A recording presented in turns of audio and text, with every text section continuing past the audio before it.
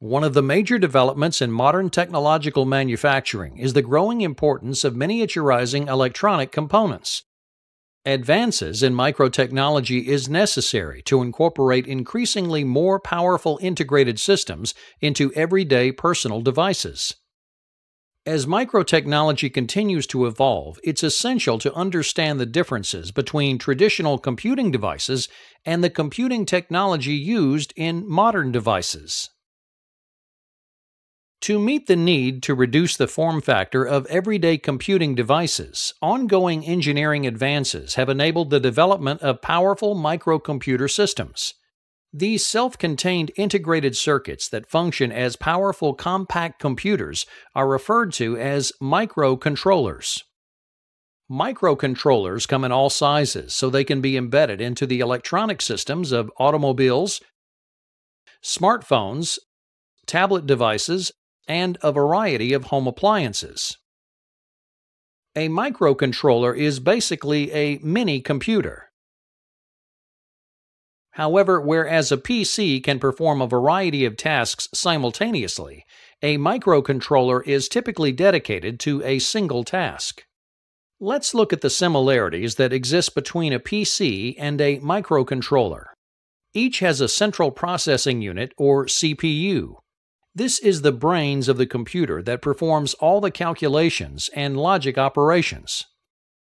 The microcontroller also has memory similar to the RAM and hard drive of a PC.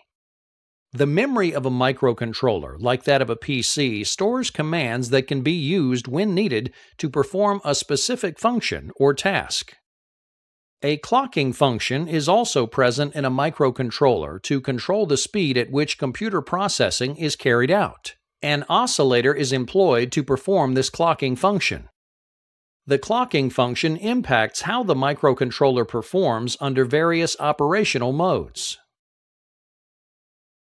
Finally, a PC has peripherals that serve to input information using a mouse or keyboard or to display the output of the system using a monitor. Microcontrollers also receive input from peripherals and send output to peripherals via the pins attached to its body. Although physically they may look the same, microcontrollers should not be confused with another similar piece of microtechnology, the microprocessor.